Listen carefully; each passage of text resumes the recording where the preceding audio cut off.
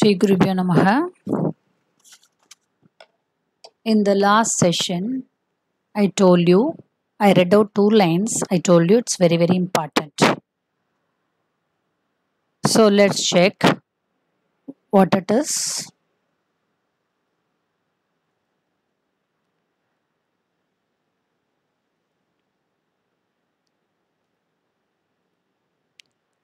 I crossed to oblivion and the curtain fell.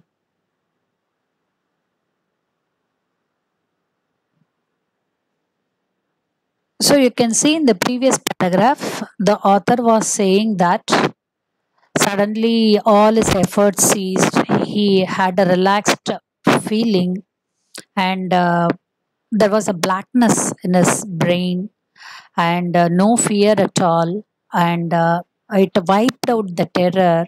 No more panic. Suddenly, he started to feel like floating along in space and some tender arms around him. All these feelings he started to have. So, all these things will happen when we are going to lose our consciousness, when we could not do anything, almost to death. Okay. So, I crossed to oblivion. Oblivion is the state of uh, non existence, which refers to death which refers to the state of death. Uh, so here the author says all these feelings came in his mind because he had crossed the oblivion, crossed to oblivion. Almost he had reached the state of death, which the oblivion, the term says that, which is uh, marking the state of death. And the curtain of life fell. That means if you go to a movie or if you're going to witness a play in a theater the before the starting the curtain will go up and once the movie or the play got over the curtains will fall which says that it is end. So here he says he's comparing his life. Almost his life has come to the end. The curtain of life fell. So it is a literary device. Very nicely the author has used euphemism. Already we checked about euphemism in the poetry. Uh, uh, expressing any message in a subtle tone in a very soft manner in an indirect manner so instead of saying saying that uh, was about to die he's he had conveyed the message the curtain of life fell okay that is what uh, euphemism so the next I remember, I was lying on the stomach beside the pool vomiting. The chap that threw me in was saying, but I was only fooling. He said that the boy who pushed him inside uh, said that he was only joking. But the joke had turned into a, a serious one, isn't it? So when we have to, when we mock others, it has to be in a very subtle manner. It shouldn't be very harsh. Someone um, said the kid nearly died be all right now. Uh, let's carry him to the locker room. So they are taking him, taking the author when he was a boy to the locker room where the where they changed the dress. Several, several hours later, I walked home. I was weak and trembling. I shook and cried when I lay on my bed. I could not eat that night for days. A haunting fear was in my heart. The slightest exertion upset me, making me wobbly in the knees and the sick to my stomach. I never went back to the pool. I feared water. I avoided it whenever I could. These two paragraphs says that how he had a fear of for water and how he had how it had stuck in his mind strongly. So we can see that immediately after the incident, for a week he could not sleep properly, he could not eat properly. Whenever he uh, the the fear for water was haunting in his mind, whenever that feel came in his mind, he could not walk. Uh, something was uh, some sickness was happening in his stomach. All these difficulties he had faced. So. So for uh, many years he never uh, thought of going near the water. That was the fear was in his mind. A few years later when i came to know the waters of uh, cascades cascades i wanted to get into them. And whenever i did whether i was wading in the Tieton or bumping river or bathing in warm lake warm lake of the goat rocks. All these are the places in usa uh, it's uh, it, it's a bit difficult for us to associate because we have not seen these places.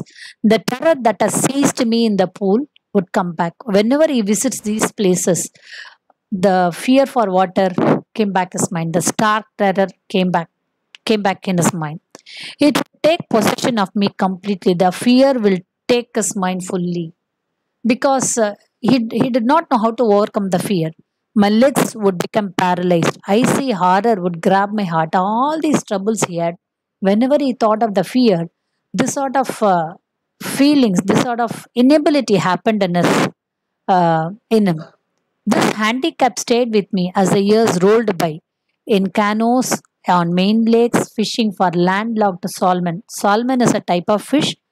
Um, the feature of this fish is all the fish go along with water. Only this water this fish can uh, go against the water. So salmon and uh, bass fishing in new hampshire bass fishing is uh, um, a common term which is used for variety of fish. Uh, bass fishing in new hampshire trout fishing trout is again you can see this fish only in freshwater trout fishing on the Deschutes and Metolius in Oregon, fishing for salmon on the Columbia, at Bumping Lake in the Cascades, wherever I went, the haunting fear of the water followed me. So again, he shares lot of places like New Hampshire and uh, Deschutes and Metolius and um Columbia at Bumping Lake in the Cascades. All these are the places which are new to us. So wherever he went, the fear was followed him very closely. The fear followed him very closely. So it ruined my fishing trips, deprived me the joy of canoeing, boating, and swimming. All these water sports he could not enjoy because he had the fear in his mind. So I used every way I knew to overcome this fear but it held me firmly in its grip. Finally, one in uh, finally one October, I decided to get an instructor and learn to swim. I went to a pool and practiced five days a week, an hour each day. The instructor, see, um, now in this we should understand that uh, the narrator had the fear. He wanted to overcome the fear.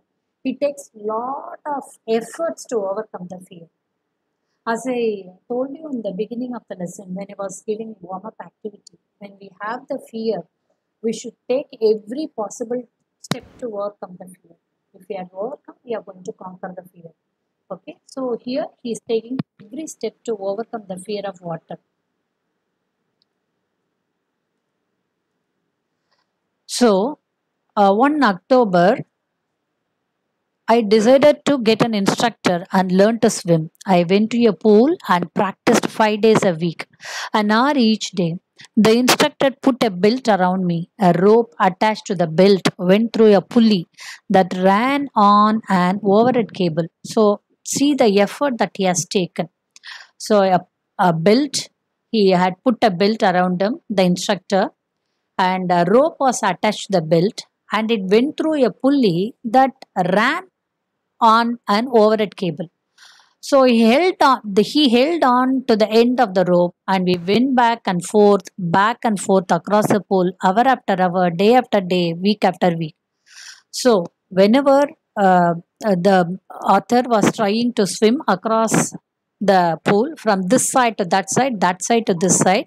So this was going on. Whenever he went down, the instructor would pull him, would help him to uh, come on the surface of water by with the help of pulley. Okay, so this practice he was doing hour after hour, day after day, week after week. So vigorous practice was taking. So on each trip across the pool, a bit of the panic seized me. Whenever he went from this side to that side, the panic came back to his mind. Each time the instructor relaxed his hold on the rope and I went under. Some of the old terror returned and my legs froze. Of course, the terror came in his mind. Then he taught me to put my face under water and exhale and to raise my nose and inhale. So, inhaling and exhaling are the two breathing exercises a swimmer ought to know. So, the instructor told him to exhale when he is under the water when he came up to raise his nose and uh, raise his nose, he has to inhale. Both the practices he was taking. I repeated the exercise hundreds of times. Bit by bit, I shed part of the panic that seized me when my head went underwater. So, he was taking vigorous practice to overcome the fear. Next, he held me at the side of the pool and had me kick with my legs. Next practice, next exercise was to hold the side of the pool and to kick with his legs. Okay, for weeks it just I did just that. At first, my legs refused to work, but they gradually relaxed, and finally, I could command them. So, initially, his legs did not cooperate to cooperate with him because it was taking command over a period of time when he started taking practice when he was practicing continuously now he could command his leg. This was the practice this was the benefit he got because of the practice